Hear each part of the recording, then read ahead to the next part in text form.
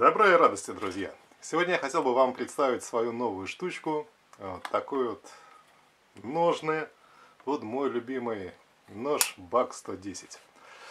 Ну, данный нож для меня не просто нож, а настоящий символ. Вот символ Америки, американской мечты, безграничного оптимизма, веры в себя и работоспособности. Ну, в общем, любимое время покорения Дикого Запада, который так хорошо отображен в американских кинофильмах.